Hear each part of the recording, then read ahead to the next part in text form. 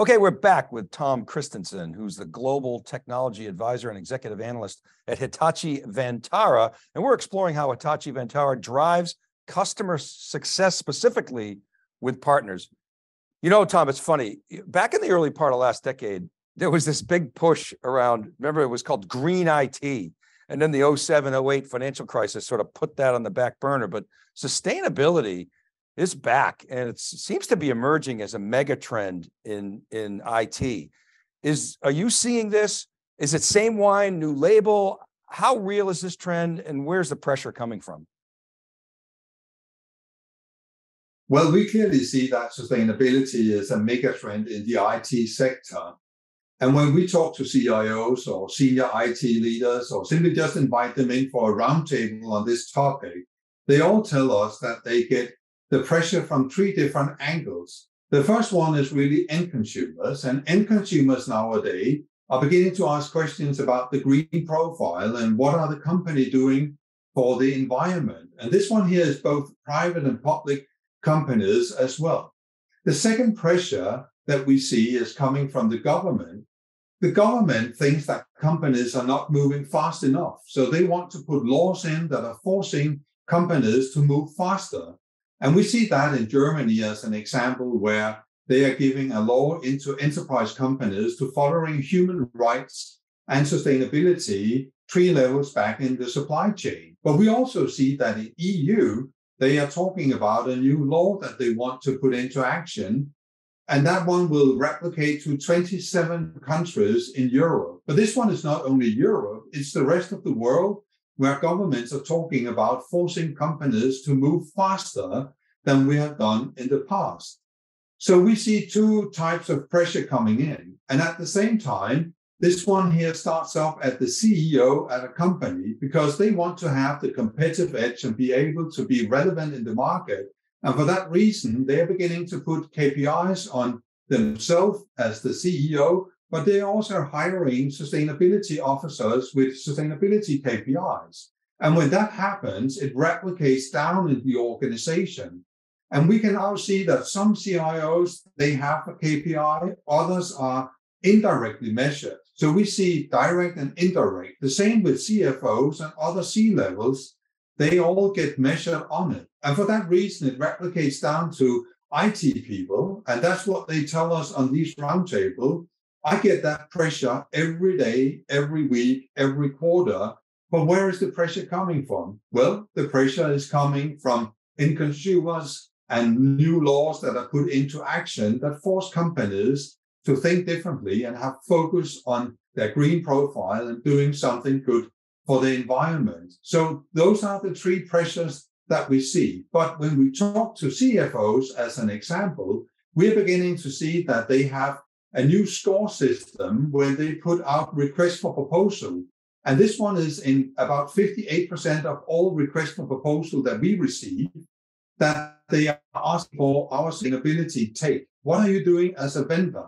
And in their score system, cost has the highest priority. And number two is sustainability. It weights about 15, 20 to 25% when they look at your proposal uh, that you submit to um, a CFO. But in some cases, the CFO say, I don't even know where the pressure is coming from. I'm asked to do it. But they're asked to do it because end consumers, laws, and so on are forcing them to do it. But I would answer, yeah, sustainability has become a mega trend this year, and it's even growing faster and faster every month we move forward. Yeah, Tom, it feels like it's here to stay this time. And your point about public policy is right on. We saw the EU leading with privacy and GDPR, and it looks like it's going to lead again here. You know, just shifting gears, I've been to a number of Hitachi facilities in my day. Odawara is my favorite because you, on a clear day, you can see Mount Fuji, but other plants I've been to as well. What does Hitachi do in the production facility to reduce CO2 emissions? Yeah, I think you're hitting a good point here. So what we have, we have a, a facility in Japan, and we have one in Europe, and we have one in America as well to keep our production close to our customers and reduce transportation from the factory out to our customers. But you know, in the in the in the EMEA region, back in 2013, we created a new factory. And when we did that, we were asked to do it in an energy energy neutral way, which means that we are moving from being powered by black energy to green energy in that factory. And we built a factory with concrete walls that were extremely thick to make it cold in the summertime and hot in the wintertime with minimum energy consumption. But we also put 17,000 square meters of solar panel on the roof to power that factory. We were collecting rainwaters to flush it in the toilet. We were removing light bulbs with LED. And when we send out our equipment to our customers, we put it in a rack instead of sending out 25 packages to a, a, customer. We want to reduce the waste as much as possible. And you know, this one was pretty new back in 2013. It was actually the biggest project in EMEA at that time. I would say if you want to build a factory today, that's the way you're going to do it. But it has a huge impact for us when electricity is going up in price and oil and gas prices are coming up. We are running with energy neutral in our facility, which is a big benefit for us going forward, but it's also a competitive advantage to be able to explain what we have been doing the last eight, nine years in that factory. We are actually walking the talk, and we made that decision, even though it was a really hard decision to do back in 2013. When you do decisions like this one here, the return of investment is not coming the first couple of years. It's something that comes far out in the future. But right now, we are beginning to see the benefit of the decision we made back in 2013. I want to come back to the economics, but before I do, I want to pick up on something you just said, because you, know, you hear the slogan sustainability by design. A lot of people might think, okay, that's just a marketing slogan, to vector into this mega trend. But it sounds like it's something that you've been working on for quite some time based on your last, last comments. Can you add some color to that? Yeah. So, you know, the factory is just one example of what you need to do to reduce the CO2 emission in that part of the life of a, a product. The other one is really innovating new technology to drive down the CO2 emission. And here we are laser focused on what we call decarbonization by design. And this one is something that we've done the last eight years. So this is far from new for us. So between each generation of products that we have put out over the last eight years, we've been able to reduce the CO2 emission by up to 30 to 60% between each generation of products that we have put into the market. So we are laser focused on driving that one down, but we are far from done we still got eight years before we hit our first target, net zero, in 2030. So we got a roadmap where we want to achieve even more with new technology. At its core, Hitachi is a technology innovator, and our answers to reduce the CO2 emission and the decarbonization of a data center is going to be through innovating new technology because it has the speed, the scale, and the impact to make it possible to reach your sustainability objectives going forward. How about recycling? You know, where does that fit? I mean, the other day it was, you know, a lot of times at a hotel, you know, you used to get bottled water, now you get, you know, plant-based, you know, waters in a box. Um, and and so we're seeing it all around us. But for a, a manufacturer of your size, recycling and circular economy, how does that fit into your plans?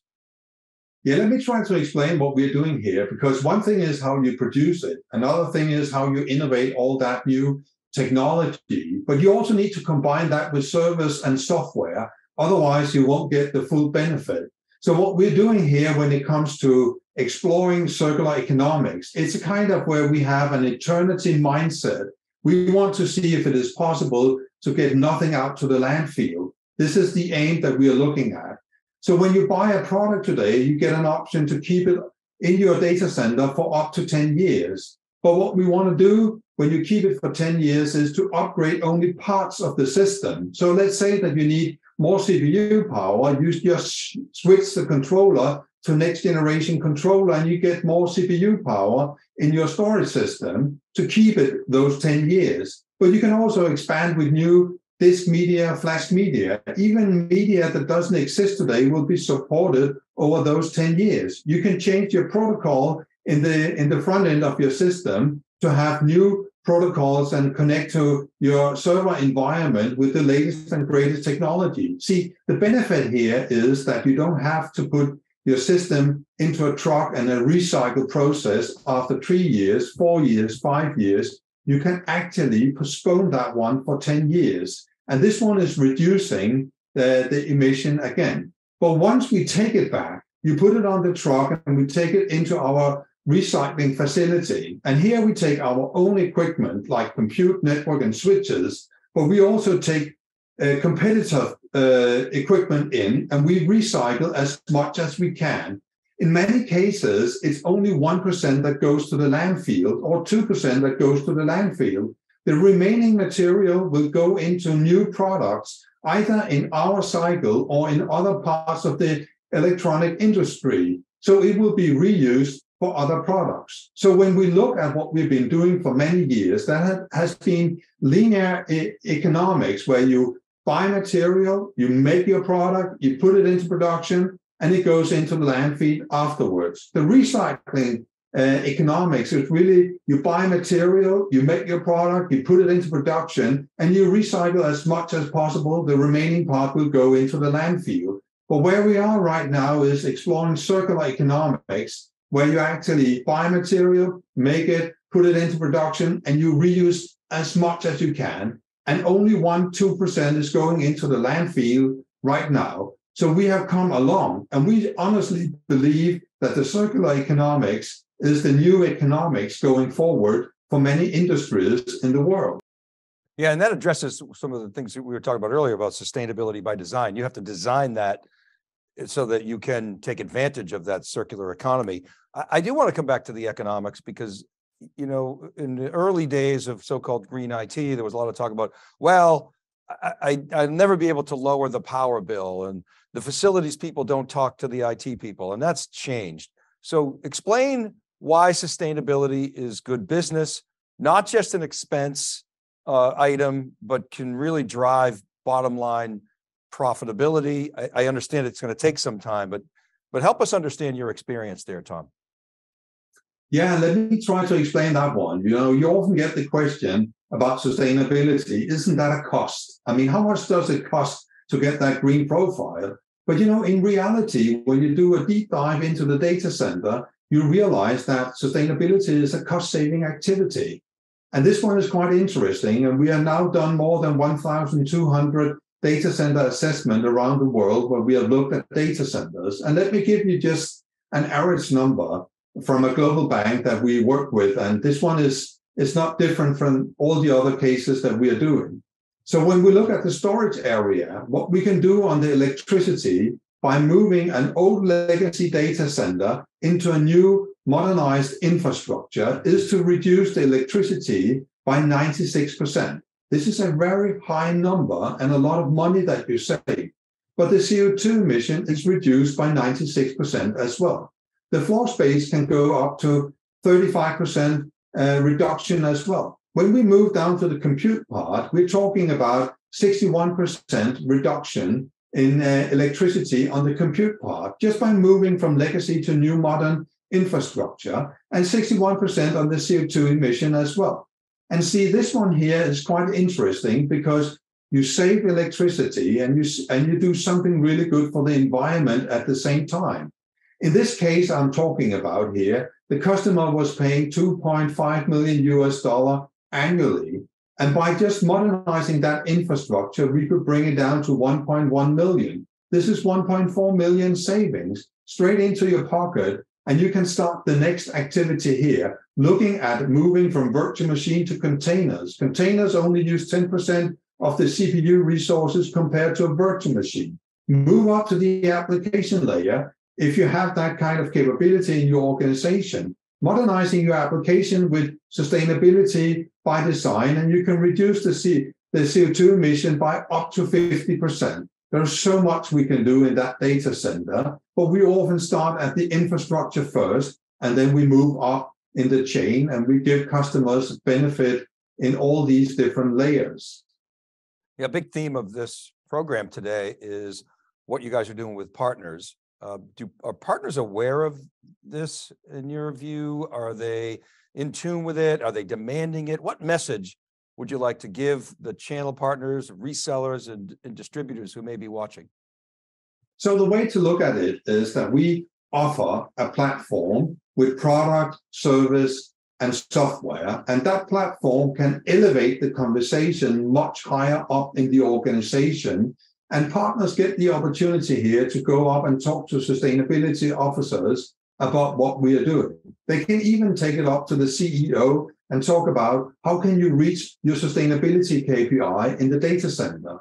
What we see in these roundtable when we have sustainability officers in the room is that they are very focused on the green profile and what is going out of the company. They rarely have a deep understanding of what is going on in the data center. Why? Because it's really technical and they don't have that background. So just by elevating the conversation to these sustainability officers, you can tell them what they should measure and how they should measure that.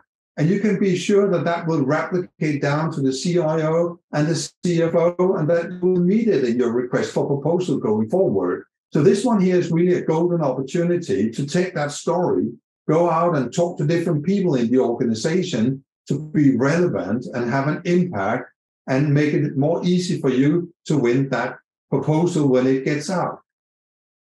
Well, really solid story on a super important topic. Thanks, Tom. Really appreciate your time and taking us through your perspectives. Thank you, Dave, for the invitation. Yeah, you bet. Okay, in a moment, we'll be back to summarize our final thoughts. Keep it right there.